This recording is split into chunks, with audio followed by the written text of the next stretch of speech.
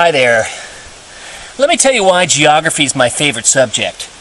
Well, geography asks us to make sense of the world, all that's in the world, at different scales. So, for example, what other subject besides geography asks you to uh, make sense of, understand, and grapple with issues of climate, biodiversity, uh, urbanization, uh, energy, water, natural hazards.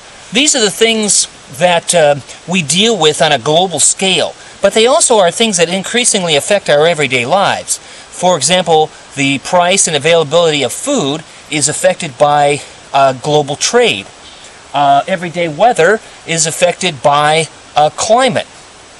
Also, uh, the vegetation around us, the, the plants and animals, um, they all are affected by um, climate, including rainfall, precipitation, uh, temperature.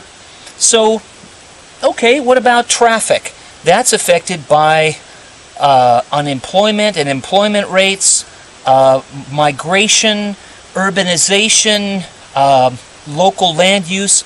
All these affect uh, traffic patterns. Um, what about things like uh, natural hazards? Uh, over the last 18 months, we've had earthquakes, we've had tornadoes around the world, we've had tsunamis, we've had major hurricanes, tropical storms.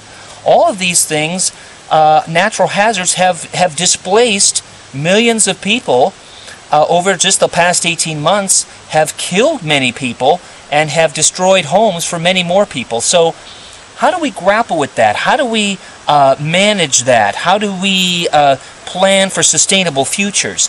All this has to do with geography. So geography is a completely relevant subject for the 21st century. I can't really think of anything more relevant than geography to help us to, to grapple with uh, our changing and complex world. So geography asks you to make sense of everything in the world on a global, a continental, a national, a regional, and a local scale. Awesome.